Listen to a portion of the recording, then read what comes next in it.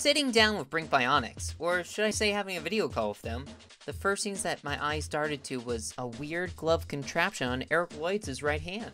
A black, fingerless glove with one wrap around the index finger, orange blocks across the back of the hand, and a black tube coming out of the side.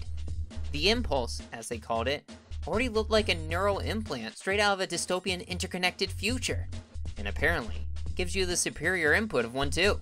Erik, the CEO and co-founder, greeted me and introduced himself along with the team.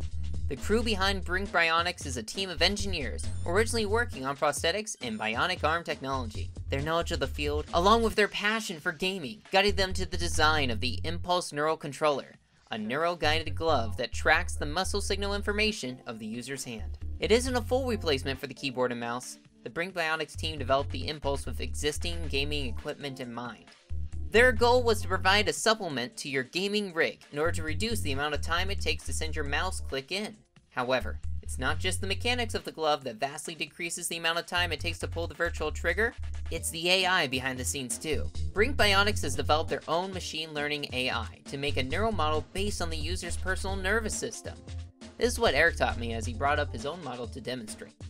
He then clicks several times, showing the milliseconds difference between when his finger clicked the mouse compared to when the four muscle sensor modules on the Impulse tracked his electrical signals. Right now, as you click a button or type a key, that's reactive. The Impulse is proactive. The time between a muscle contraction and the press of a key can take up to 150 milliseconds. But with the Impulse, it tracked Erik within 80 milliseconds before he clicked the mouse. To the average person, milliseconds of a difference might not be that big of a deal. Erik admitted this as we were talking about how the Impulse wouldn't make that much of a difference for building or construction games, but for shooters, it could mean a win versus a loss. He then booted up Halo Reach on PC to show me the Impulse in action. As he timed shots of the DMR, it was nearly impossible to see with my eyes the change of milliseconds, but what I did see was that the Impulse fit him, literally, like a glove. At no point in time did it seem like Erik was uncomfortable. I could tell that Brink Bionics really did have gamers in mind when they built this device. The Impulse is a natural addition to any competitive gamer who is trying to reduce the amount of time from thought to execution. Knowing the difference in time without the sacrifice of comfort piqued my interest in the device. As a gamer who just came off of Doom Eternal, an intensity-driven Twitch shooter wherein if you stop, you die, it might just be a necessity. I brought up a single worry to Erik in our session. Brink Bionics had designed the Impulse to read the electrical signals of the user before their muscles contract. So what happens when you click the mouse after the AI software has already detected your input? Erik reassured me that there are systems in place on the back end to prevent a double input. Machine learning helps negate false positives.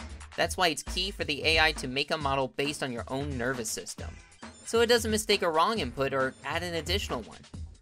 Erik also added that you can just use your neural inputs to shoot, he demonstrated this as he lifted his hand away from the mouse, bent his finger, and on the screen the DMR shot once again. Seeing the Impulse Neural Controller in action was like seeing the first part of Neuralware from Cyberpunk come out in our reality. A glove that tracks your muscle electrical signals and uses a machine learning AI to perfect your inputs, thus ultimately improving your whole gaming experience? The Impulse is something that I hope gets integrated across multiple systems soon.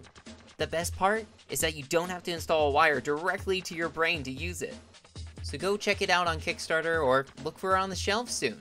This has been Spencer Reece from Rogue Media Gaming, reminding you to play like a rogue.